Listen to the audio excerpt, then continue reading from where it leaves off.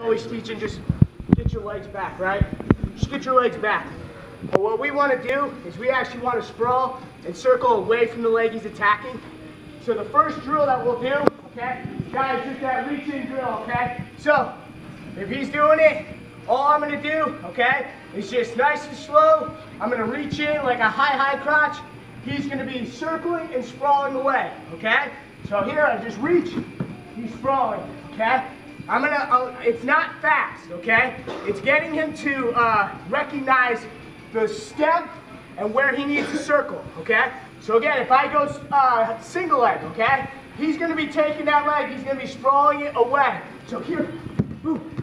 What we wanna do is we just wanna create an angle for reattacks, okay? Where if he just sprawls straight back, yeah, without a doubt, he's gonna get his legs back, he's gonna defend, but most of the time he's gonna step, get stuck in a front headlock, his elbows are gonna get caught. So we've just kind of taken this new philosophy of chasing ankles, chasing angles, and getting right to our reattacks. So guys, go ahead, all right? About 30 seconds, one guy, all right? High crotch, single leg, make sure you guys are sprawling and circling, okay? Go ahead and go. some of the best times to score points are off of re- reattacks. You know, and so we really, really try to push that. There's always, there's always ways to, to and a lot of times when you're wrestling high-level opponents, it's tough to get them out of position.